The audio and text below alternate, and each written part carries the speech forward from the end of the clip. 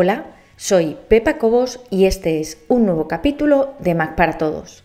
En esta ocasión te voy a hablar sobre una aplicación que a veces ni me acuerdo que la tengo instalada, pero que la uso constantemente y seguro que te suena de haberla visto en prácticamente todos los vídeos que has visto de Mac para Todos.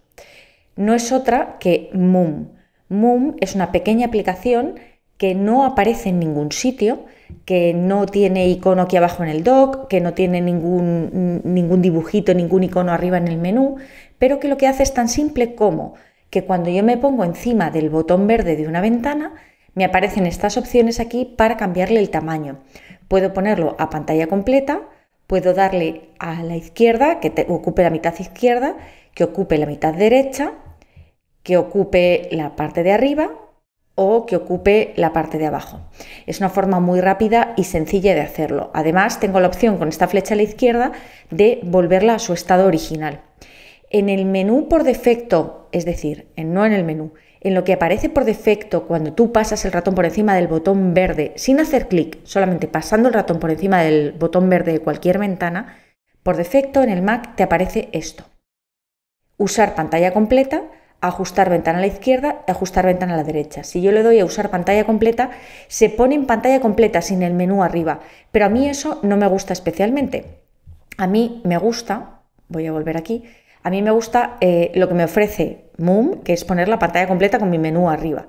En cualquier caso, no hace falta que tengas Moom, porque como te digo, si tú utilizas tus, eh, tus opciones normales, puedes poner usar pantalla completa, ajustar ventana a la izquierda o ajustar ventana a la derecha. Lo que pasa es que cualquiera, izquierda, derecha, completa, son siempre sin la barra de menú y sin el dock. Entonces, voy a volver aquí. Eh, por eso tengo instalado Moom y por eso lo uso. Moom, como te decía, no solamente tiene estas opciones que son las más básicas y son las que yo utilizo, si te soy sincera, las que más utilizo constantemente, sino que tiene muchas otras opciones que te van a venir fenomenal, sobre todo si eres de tener muchas aplicaciones abiertas y o utilizas más de una pantalla a la vez. Y ahora vamos a ver exactamente todas esas opciones.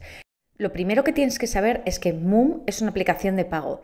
Sí que es verdad que a mí me parece un regalo, mm, es muy muy barata, pero, pero bueno, en cualquier caso es una aplicación de pago y necesito que lo sepas. Y en segundo lugar, lo que tienes que saber también es que se puede comprar tanto a través de la Mac App Store como a través de la web de los desarrolladores. La web de los desarrolladores lo voy a abrir aquí, voy a poner la ventana grande, voy a poner Moon para que lo veas y es Manytricks, que tienen bastantes programas de Mac, no solamente Moon. Aquí está.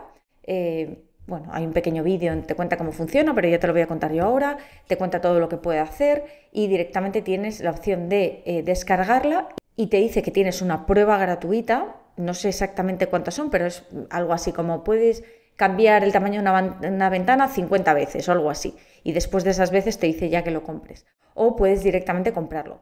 Cuesta 10 dólares, ese es el precio, 10 dólares, y está disponible también en la Mac App Store. Como te digo, lo puedes comprar desde aquí o si quieres ahorrarte quebraderos de cabeza, directamente abrir la Mac App Store. Aquí arriba en la lupita pones Moom, M-O-O-M. Abres aquí. M-O-O-M, que no sé por qué, no sé por qué no sale. Mm, está bien, pero Moom, vamos a poner Moom Many Tricks. De todas maneras, te voy a dejar el enlace, aquí está. Eh, te voy a dejar el enlace directo para que no tengas que buscarlo. En la Mac App Store son 11,99 y es porque en España nos suman el 21% de IVA. Es el precio en dólares pasado a euros más el 21% de IVA, con lo cual es 11,99. Mm, el precio puede parecernos caro, barato. A mí, desde luego, en relación al tiempo o a las veces que uso Moom en mi actividad diaria, me sale absolutamente rentable. Entonces, eh, como te decía al principio, para instalarlo no hay mayor problema, lo puedes hacer a través de la Mac App Store o directamente con el botón verde de aquí, o si no quieres, puedes hacer una prueba gratuita, en ese caso solo desde la web, solo desde la web, botón azul, descargas la prueba gratuita y la instalas y lo pruebas tranquilamente. Y vamos a ver en qué consiste Moom exactamente y qué puede hacer por nosotros, además de ese pop-up pequeñito que aparece aquí para poder cambiar de esa manera las, el tamaño de las ventanas. Vamos a abrir, voy a abrir Moon Preference, o sea, las preferencias de Moon, y es muy sencillito. Lo único que aparece cuando entras al programa es esto. La primera vez que ejecutas Moon te va a pedir permiso para cambiar las opciones de accesibilidad del Mac. Es obligatorio que le des permiso porque obviamente tiene que poder controlar las ventanas, si no, no tiene ninguna función.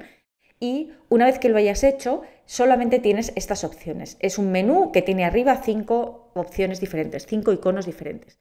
En las opciones generales, y vamos a repasarlo con tranquilidad, en las opciones generales tenemos eh, algunas, algunas eh, opciones que yo no uso nunca, como por ejemplo, estas de aquí nunca las he tocado. Te diré que no sé exactamente ni para qué valen, ni he tenido nunca necesidad de tocarlas. Básicamente lo que te dice es que las ventanas que provengan de otras ventanas las trates igual que su ventana padre o madre.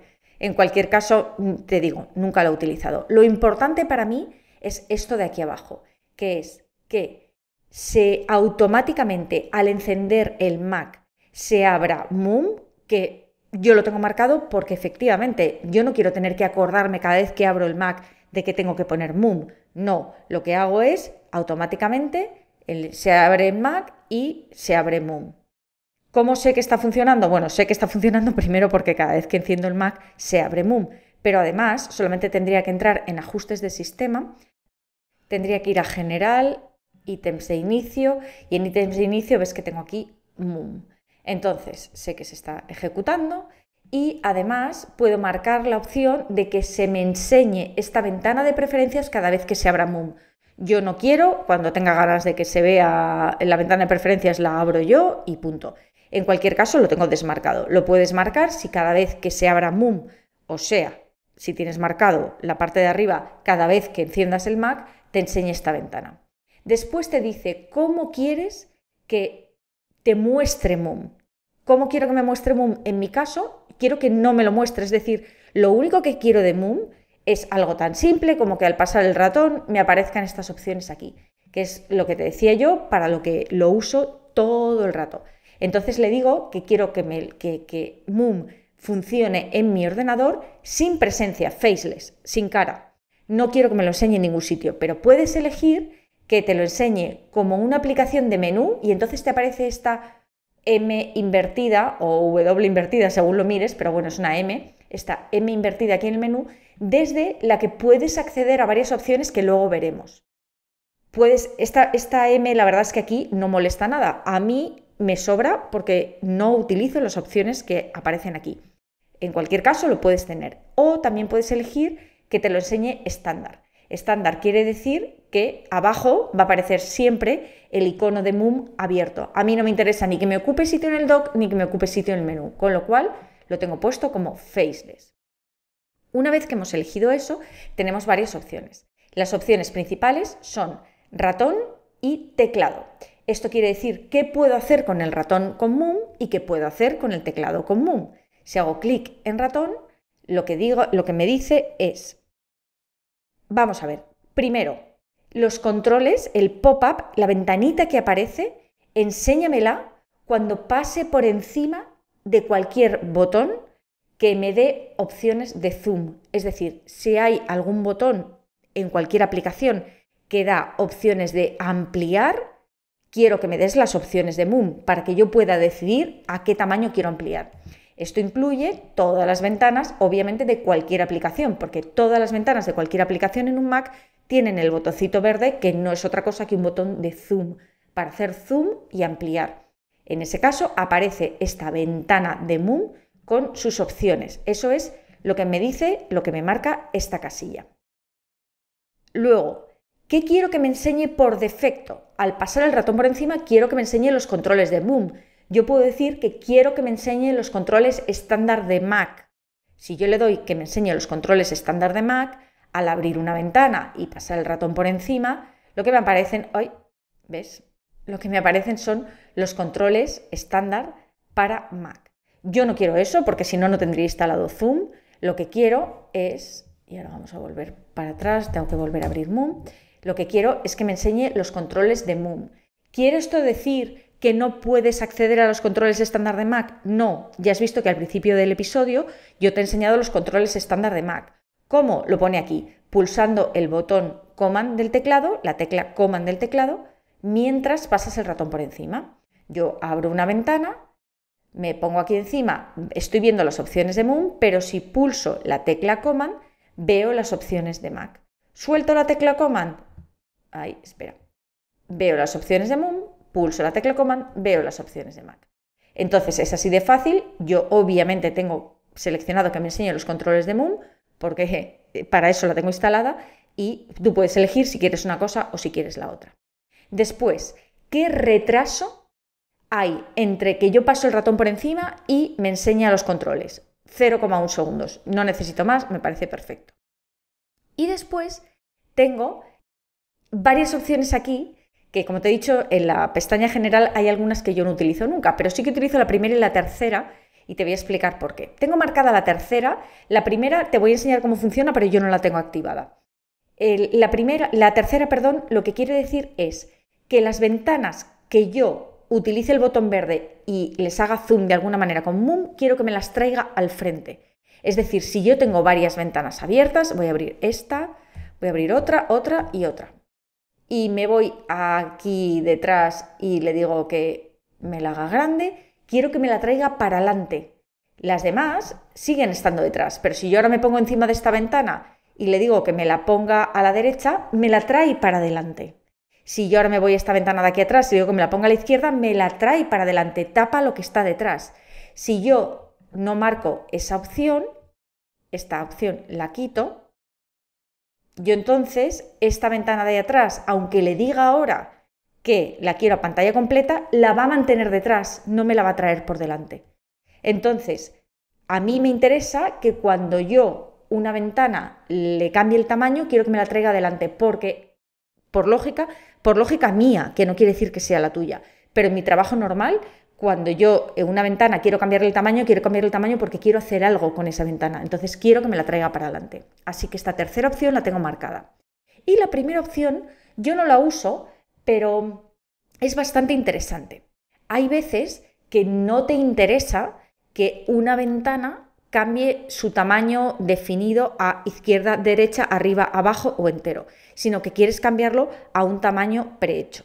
Eso se puede hacer bastante fácil, simplemente estirando desde, bueno, justo en esta ventana no se puede, pero desde eh, aquí cualquier esquina, ahí, me voy a una esquina, la hago más pequeña, la muevo, pero la gracia de Moom es que no tengamos que hacer todo esto. Entonces, si yo marco esta opción, le digo full screen, luego veremos lo de hexagon, aunque no tiene mucho sentido, pero le digo que quiero full screen, una cuadrícula, grid es cuadrícula, es activa a pantalla completa una cuadrícula de 6 por 4 celdas. 6 por 4 celdas quiere decir que va a tener como 6 cuadrados de ancho por 4 de alto. Si tuviéramos una pantalla que fuera más alta que ancha, pues entonces esta, esta, opción cambiaría. Si quieres ser todavía más preciso, puedes aumentar el número de celdas de ancho y aumentar el número de celdas de alto. En cualquier caso, lo que va a hacer al marcar esta opción es lo siguiente. Al pasar el ratón por encima, no solamente me van a aparecer los cinco controles que ya tenía, sino que me va a aparecer esto. En el momento que yo hago clic, me aparece este recuadro y yo puedo arrastrar el recuadro y la ventana se va a ajustar a lo que yo haya marcado. Lo vuelvo a hacer. Clic en el recuadro y lo que hago es ajustarlo. Estoy arrastrando con el ratón sin soltarlo, haciendo clic, arrastrar y sin soltar. Esto obviamente si cuentas es una, dos, tres, cuatro, cinco, seis, seis, seis columnas por cuatro filas. Yo arrastro y digo, pues mira, quiero que me la pongas así. Suelto y la ventana se pone del tamaño que yo quiero.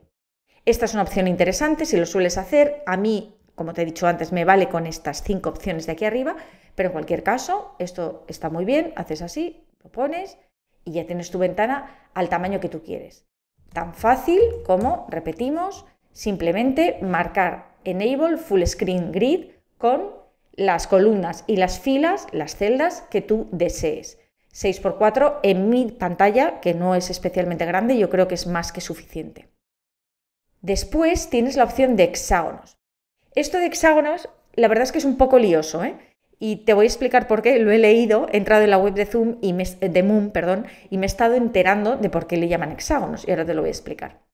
Al pasar el ratón por encima, aparecen esos hexágonos y esos hexágonos básicamente se refieren a dónde quieres colocar la ventana. Te está diciendo, ahora mismo estoy ocupando todos estos hexágonos y dónde quieres que te la coloque. Pues quiero que me la coloques aquí, a lo largo. Y te preguntarás, como me pregunté yo, ¿y por qué ponen hexágonos así a lo largo en vez de, voy a ponerle que lo quiero así, aquí abajo, en vez de poner simplemente un cuadrado con esas celditas iluminadas? Bueno, pues es todo por una patente. Hubo alguien en Estados Unidos que les denunció porque dijo que esa cuadrícula, esos cuadraditos para ampliar o reducir el tamaño de las ventanas estaba, era, una, era algo, una patente registrada y entonces han tenido que cambiarlo y ponerlo hexágonos. Pero básicamente esto es como si fuera una pantalla distorsionada y lo que te dice es que puedes ponerlo así. Yo selecciono estos cuatro hexágonos, me lo pone en las cuatro celditas de la parte de arriba. A mí, desde luego, si tengo que elegir una forma, ya te digo que yo no lo tengo activado, pero si tengo que, que elegir una forma de tenerlo, sería full screen Después de terminar de grabar el capítulo completo, me he dado cuenta de que ha quedado muy, muy, muy, muy largo, así que lo que voy a hacer es terminar aquí esta parte y la semana que viene continuamos con la parte 2 sobre Moon. Espero que este capítulo te haya gustado, nos vemos en el siguiente, un saludo y muchas gracias.